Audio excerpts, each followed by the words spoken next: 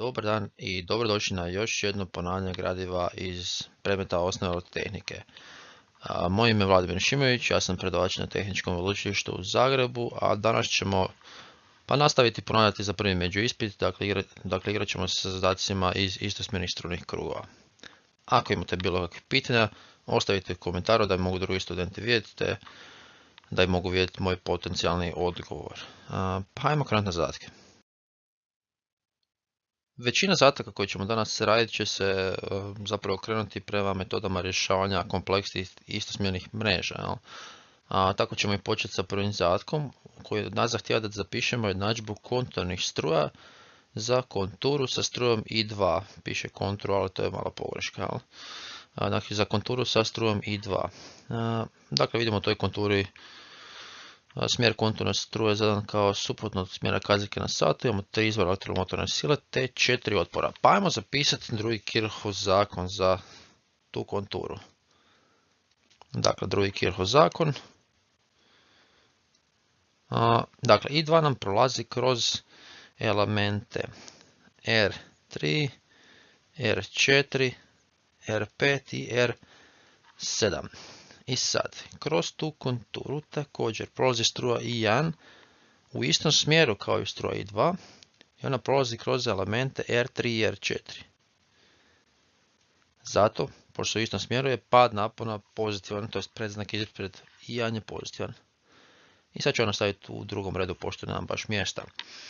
Kao što vidite i3 isto također prolazi kroz tu konturu, ali zapravo ne stvara nikakav pad napona prošto prolazi kroz dio konture u kojem je samo izvor elektromotorne sile E4 i zato je ne uključujemo u ovu jednadžbu.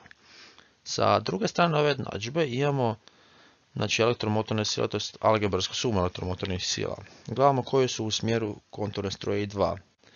I vidim da je samo jedna, E5, a E3 i E4 su suprotnog smjera. I ovo je naša tražena jednadžba. Odlično, ajmo krenuti na drugi zatak. U drugom zatku imamo nekakve četiri palne grane sa četiri realna naponska izvora. I sad zatak kaže, ako je iznos napona UAB jednako minus 10 V, odredi iznosa struja I1 i I2. Ovo čak i nije primjer nijakve posebne metode, ovo će nam zapravo biti prvi kirh, to ne, ne prvi kirh, nego već omov zakon, to jest raspisivat ćemo struje u granama pomoću razlike potencijala i elektromotorne sile kao i otpora kao omjer. Dakle, UAB je minus 10 V. Što to što znači? Da ako stavimo da je točka A potencijala 0, da je točka B potencijala 10 V.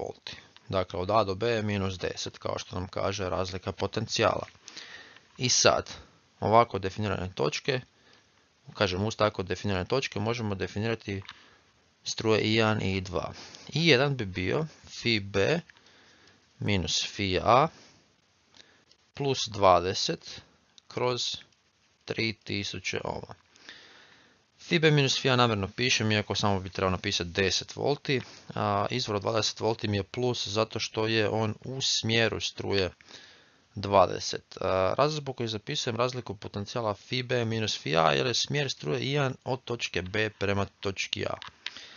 Dakle, gore imam 30, dolje imam 3 kOhm. Znači 10 mA nam je 1. Pogledajmo sada i 2 na isti način. Fi B minus Fi A je razlika potencijala zbog smjera te struje. Ali nam struja, to je nam izvor elektromotorne sile 20 V odmaže, pa je minus 20 gore. A dolje imamo 1000 ohm, to je 1 kilo. Dakle, to je 20 minus, 10 minus 20, to je znači minus 10, kroz 1000, znači minus 10 mA u ovom slučaju tako, i to zapravo su struje i1 i i2 i tu smo gotovi sa ovim jednostavnim zadatkom. I evo nas na trećem zadatku. ovdje trebamo odrediti struju i3 prema slici ako je zadano, i sad imamo zadane sve elemente, to je znači sva tri otpora R1, R2, R3, I1 i I2. Hm. Ovdje bi čak možda najjednostavnije mogli raspisati to dobiti ovu struju 3 pomoću konturnih struja. I mislim da je dovoljno da raspišemo ovu tu recimo neke to, znači ako nam je ovo i od A, ovo je i od B, ovo je i od C. Ono što bi trebalo biti jasno da su i od A i od 1 iste, a i od 2 i od C iste i da nam je dovoljno da raspišemo konturu gdje nas nalazi konturna struja od B. Znači i od B prolazi kroz R1 plus R2 plus R3 a, te u toj konturi stvaraju padove napona. Konturne stroje i od A i od C. I od A u smjeru konturne stroje od B pa je pozitivan preznak a i od C pa također u smjeru zapravo. Znači na R2 i to je sve jednako nula.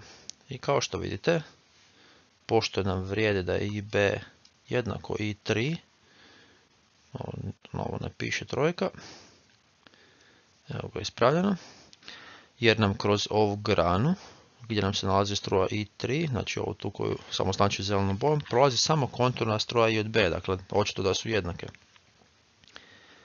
Kada uzmemo to u obzir, te ove napisane činjenice koje sada označavam, onda direktno možemo izračunati i3.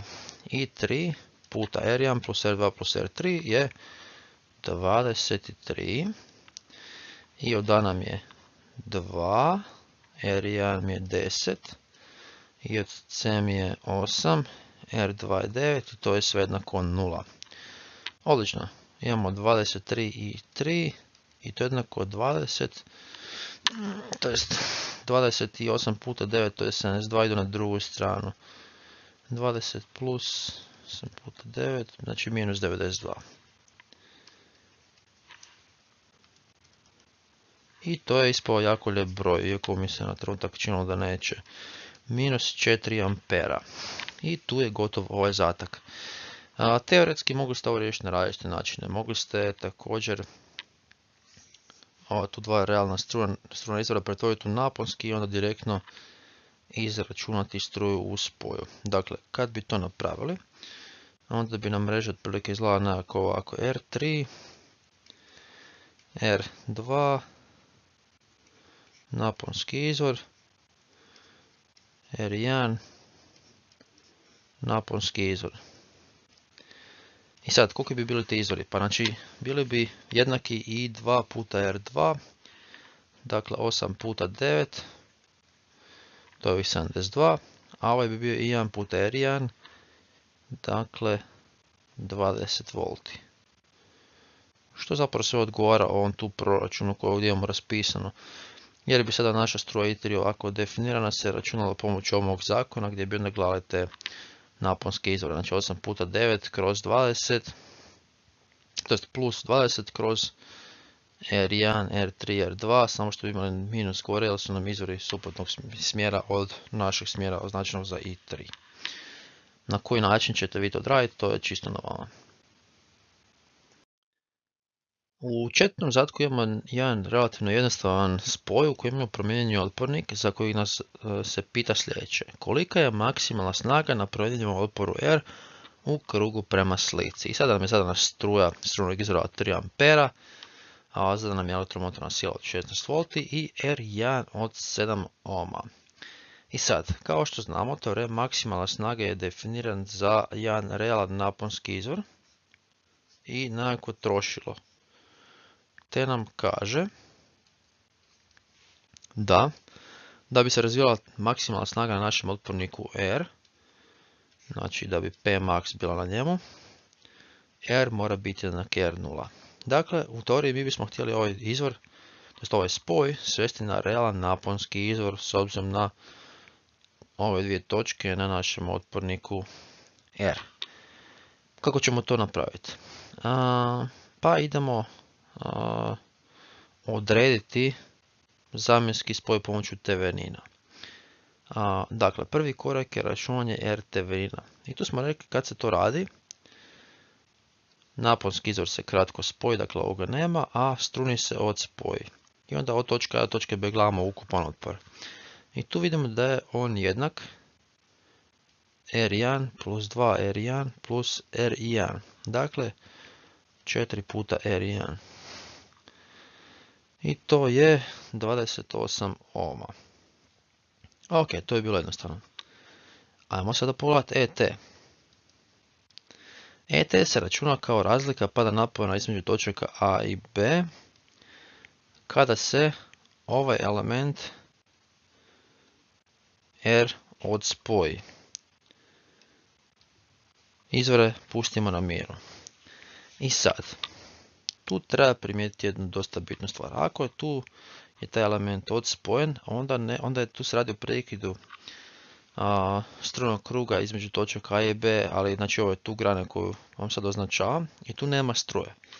Dakle, pad napona točka AB samo, od točka AB je pad napona na otpornik koji je R1 i izvor elektromotorne sile E. Dakle, pad napona na otporniku R1 je onaj koji je uzrokovan strujom od strunog izvora. Dakle, imamo I puta R1 plus E. I to je onda jednako 3 puta 7, to je 21 plus 16, 30, 7 volti. Odlično. I sada mi imamo naše elemente, to je nadomjesne elemente našeg teorinog spoja, te možemo odrediti kolika je maksimalna snaga. Ta maksimalna snaga, kad su ovi uvjeti ispunjeni, je jednaka e na kvadrat kroz 4r. To je r0 u ovom slučaju. To je s obzirom da su teorinove oznake, onda je to rt. I sad ću uzeti kalkulator i to proračunati. 37 na kvadrat. Poljno sa 4 puta RT28 i dobim nekih 12.223 vata.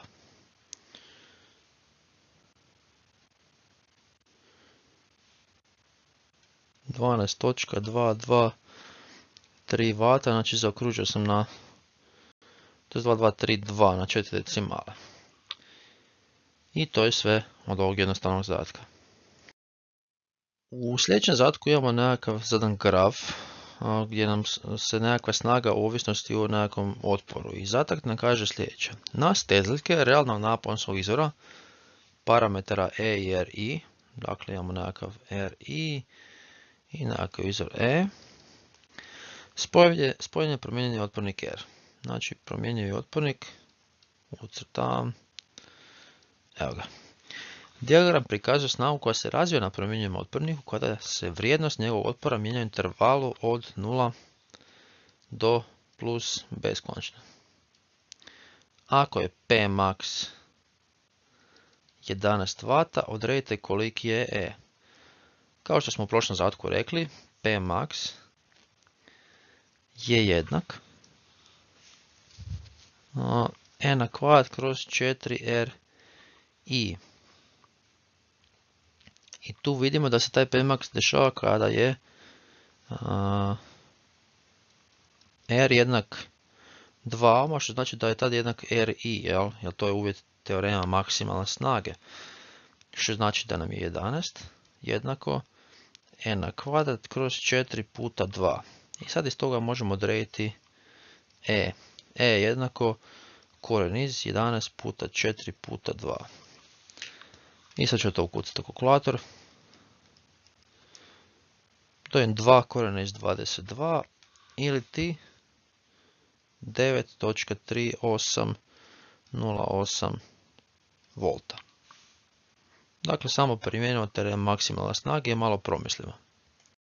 Sljedeći zatak glasi na realni naponski izvor priključeno trošilo otpora R jednako K puta 4. Koji od ponuđenih uvijek karakteristika treba imati realni naponski izvor kako bi stupanj korisnog djelovanja izvora bio 0.5, ako je K jednako 5, dakle otpornik nam je 5 puta 4, to je 20 ohma. I kolika je snaga tog izvora?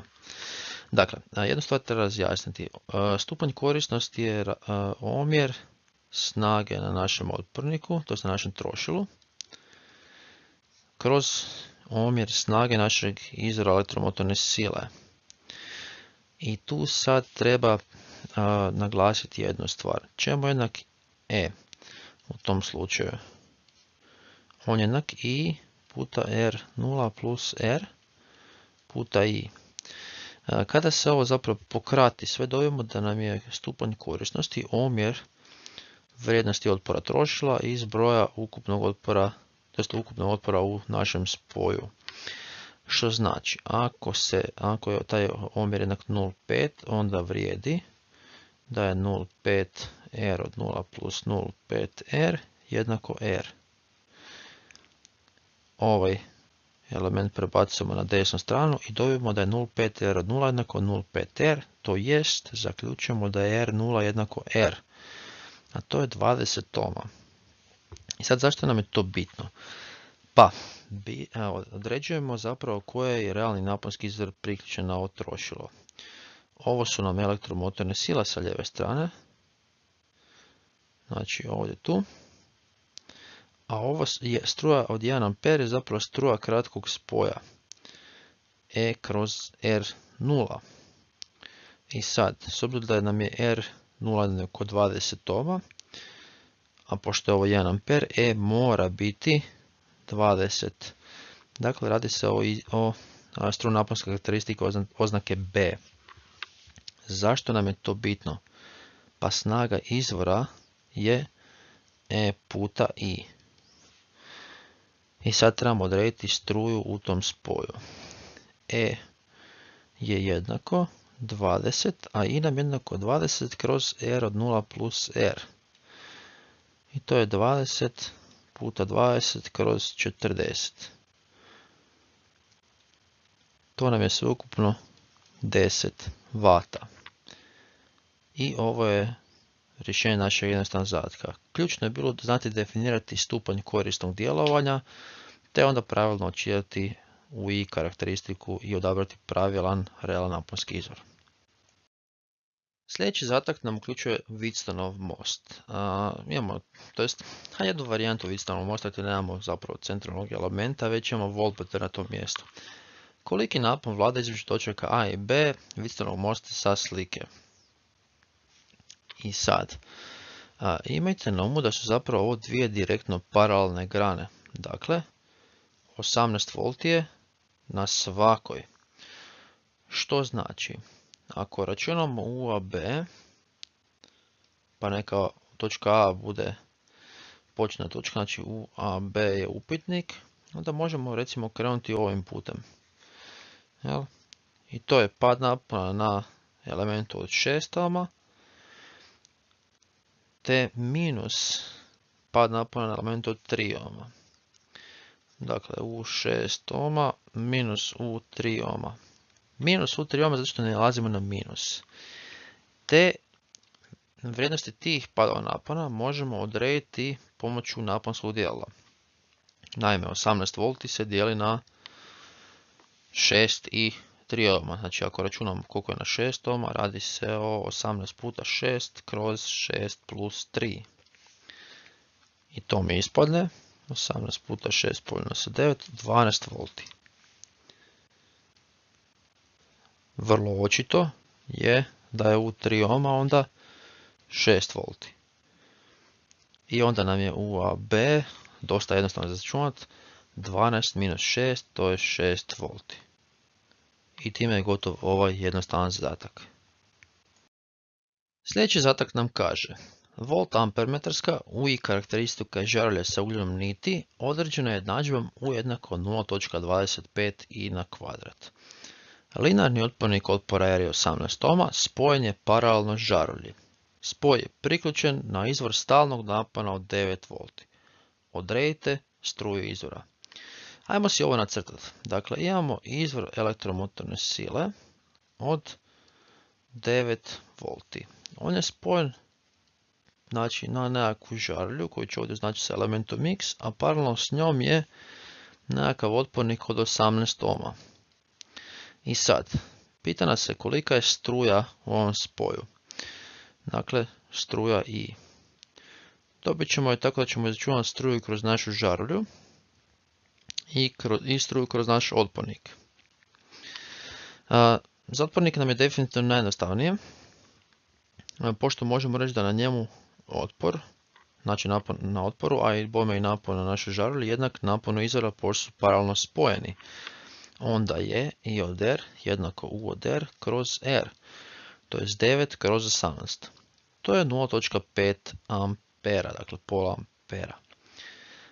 Na vrlo sličan način ćemo dobiti e, struju od X, samo što ona nije opisana pomoću ovog zakona, nego pomoću nekakve jednadžbe. Dakle, naš u od x jednak 0.25 i od x na kvadrat. Dakle, naš i od x je jednako koren iz u od x kroz 0.25. Samo da to popravimo gumicom. Evo ga. U od x je 9, 9 kroz 0.25 je 36, koren iz 36 je 6 ampera. I na kraju primjenjamo prvi Kirchhoff zakon gdje nam je jednako i od x plus i od r. I sve ukupno nam ispada 6,5 ampera struja kroz naš izvor. I to je kraj ovog jednostavnog zadatka. Sljedeći zatak nam se također bavi nekakvim realnim naponskim izvorom. Dakle, zatak kaže sljedeće. Realni naponski izvor i se, zada nam se izvor elektromotorne sile E spojimo sa promjenjivim trošilom. Neka bude ovako oznaka za promjenjivo trošilo. U prvom slučaju podesimo da je vrijednost otpada trošila R1 jednako 1 ohm, a u drugom R2 je 4 ohma. I u prvom i drugom slučaju razvijena snaga na trošilu je jednaka. P1 jednako je P2. Kolika bi trebala biti vrijednost promjenjivog otpada trošila da se na njemu razvije maksimalna snaga i kolika ona iznosi. Dakle, P max je jednako i nazovemo da je R M upitnik. Zapravo nas zanima vrijednost unutarnjeg otpora ovog izvora. Ok, pa ajmo vidjeti, to postaviti sustav jednadžbi. Ono što bi trebalo biti jasno da je R1 na kvadrat puta I od 1 na to jest R1 ne na kvadrat puta I1 na kvadrat bi trebalo biti jednako R2 puta I2 na kvadrat. Gdje su nam struje I1 i I2 struje u ovom spoju, ovisno koji je, koja je vrednost otpora namještena ovdje.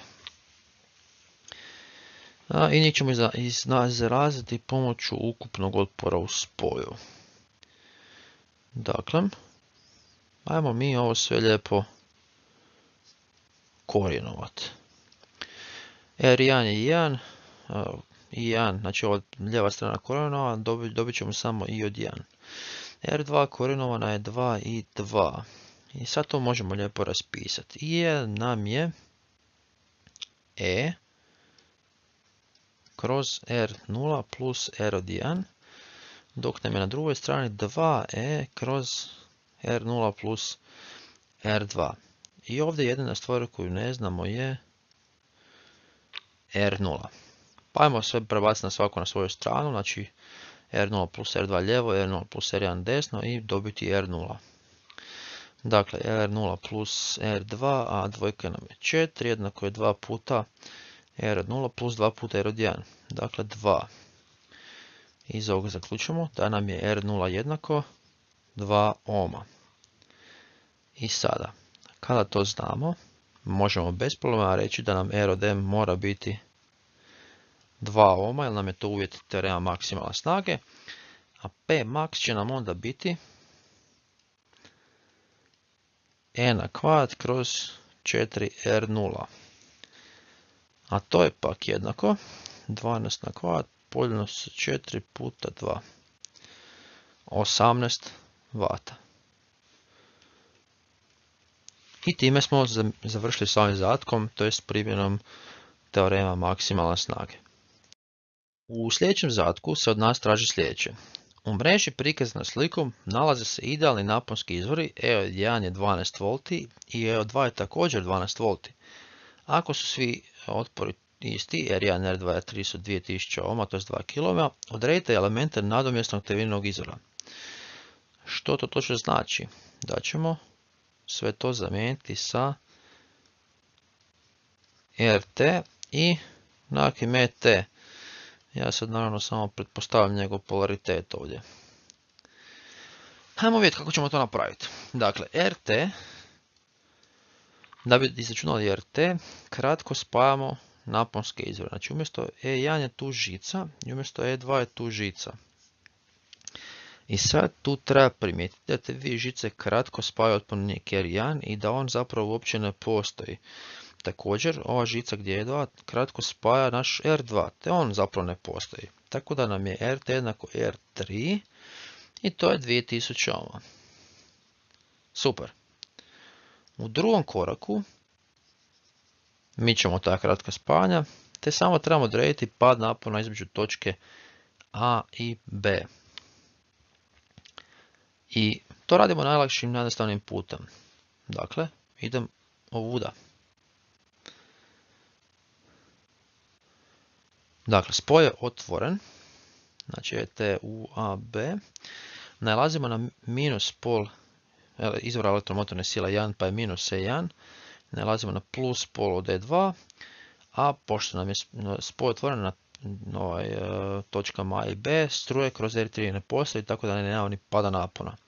Dakle, UAB, to jest E3 nam je jednako minus 1 plus E2, što je 0 volti. I to je to, naš nadomjesni uh, izvor ima samo otpornik od 2000 ohma, a elektromotorna sila jednaka 0 volti. I tu smo došli do kraja ovog druženja. E, ako imate bilo kakvih pitanja, postavite ih u komentarima. Ako vam se sviđa rad kanala Soko, podržite zapravo nekakvim lajkom, pretplatom ili širom sadržaja. Do slušanja.